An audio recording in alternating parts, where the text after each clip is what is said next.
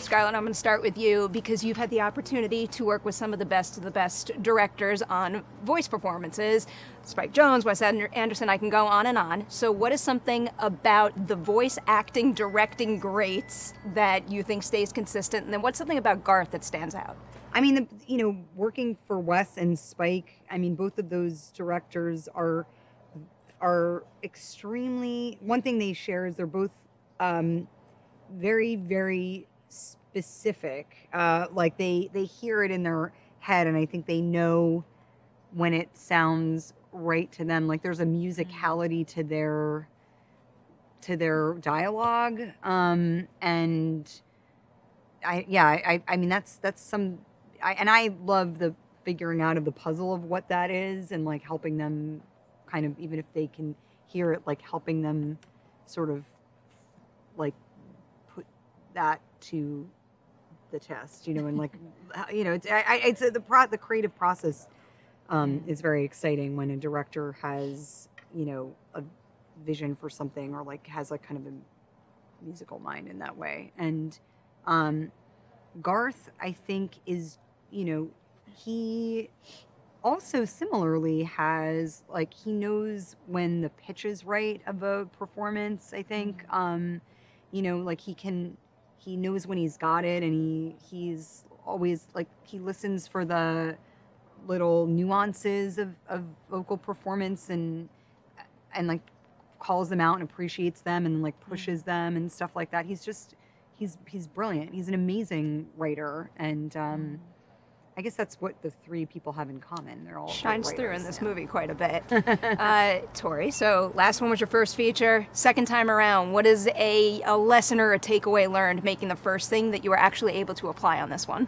Yeah, wow. I, I think I, I mean, I stepped into the first film as just like a complete noob. I was like, I, I don't know what I'm doing, but like, thank you for like hiring me for this. Is incredible. Um, it's pretty like it was very much a dream role because you know as a singer, it's like I get to sing in the movie. I get to, you know, kind of dip my feet into acting more and. Um, so yeah, I guess coming from that, like starting there, and then now doing the second movie, I guess I had just more context for how this all works because it was literally my first, uh, you know, my first time doing a movie. So it was cool just to like be at the premiere and then see you know how it all turned out meet the cast like the whole experience experience was great. And then stepping into the second one it was just a little bit more confidence of like okay now i kind of get how this whole thing works. And just just you know feeding off of what um, scarlett was saying about working with garth i think just having a director like him and it being you know my first movie and i think for him his first uh,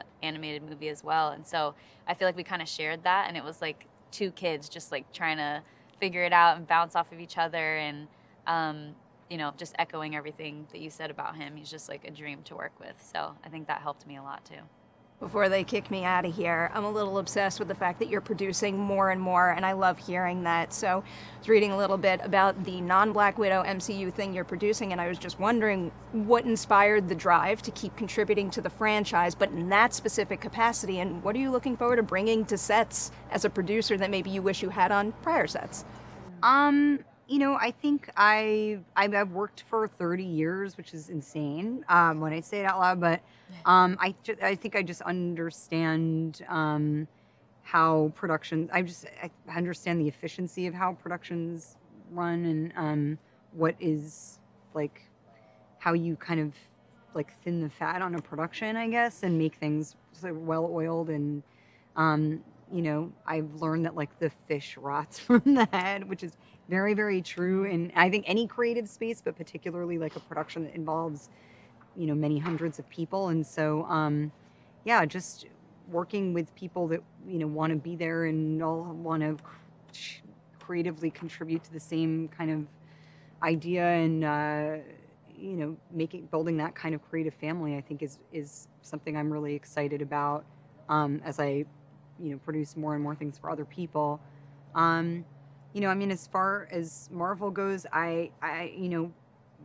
it's like working with family there marvel has like some of the best ip ever and so Um, and you can really dream big there, and um, nothing's ever off the table. And there's like you kind of throw all these like kind of blue sky ideas around and see what sticks. And I just I I, it's like a dream. It's like a creative playground. That's just like a dream. So um, yeah, and it's again, it's like you have I have that shorthand with my fellow creatives there that you know is, comes from being in the world for 10 years with those guys so Psyched to see you make the most of that. thank you Also, keep making more of these. I love it. Um,